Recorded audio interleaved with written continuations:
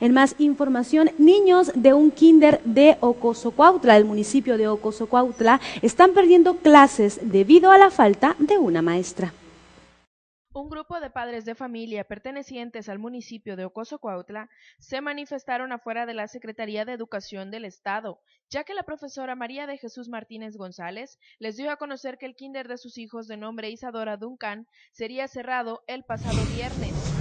Día viernes, la maestra del kinder Isadora Duncan del barrio Peñitas tuvo una reunión con las madres de familia y les informó que el kinder se cerraba a partir del día viernes por falta de recurso humano que es una maestra para el kinder.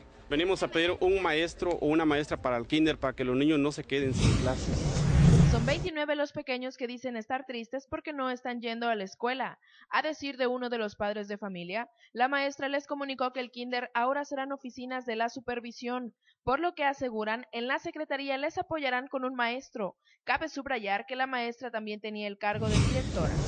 Hay 29 alumnos que no están recibiendo clases, son de tercero y segundo, segundo y tercer año. De referente a eso nos comentaron que el kinder pasa a ser oficinas de la supervisión de ahí de Cosocuaut. Pues eso lo descartamos porque estamos sabedores que nos van a entregar, nos van a mandar a un maestro. Pero creemos en la palabra del gobernador, lo que pasa en la televisión y todo, y tenemos la seguridad de que sí nos van a, a resolver, a apoyar con un maestro. La directora es la misma función que desempeña la maestra. La maestra se llama María de Jesús Martínez González. Ya fue una maestra. Queremos maestra.